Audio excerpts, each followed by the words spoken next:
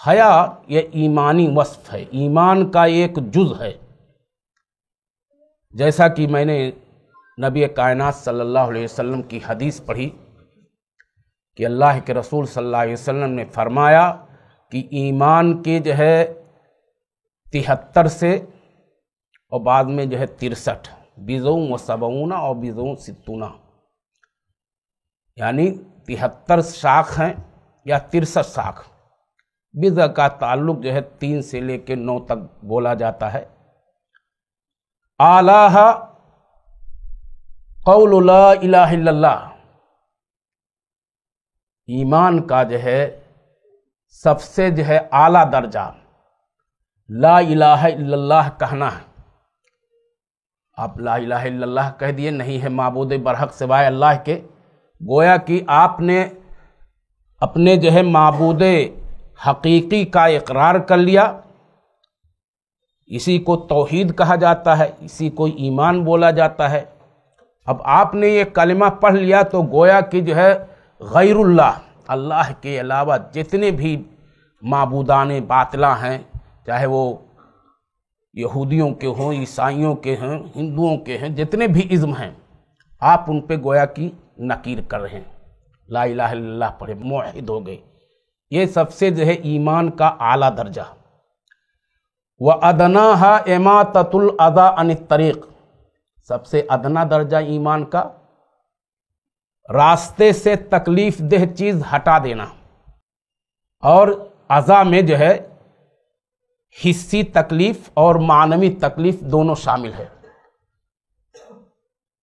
अज़ा माने तकलीफ़ देह चीज़।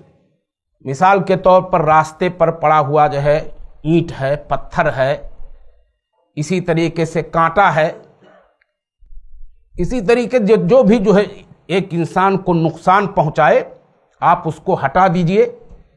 गोया कि आपने जो है, ईमान का जो है, ये अदना दर्जा पर अमल किया। और बड़ा कार खैर है।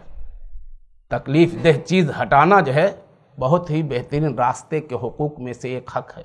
हिमातुल अदा अन तरीक़। और मानवी तकलीफ़।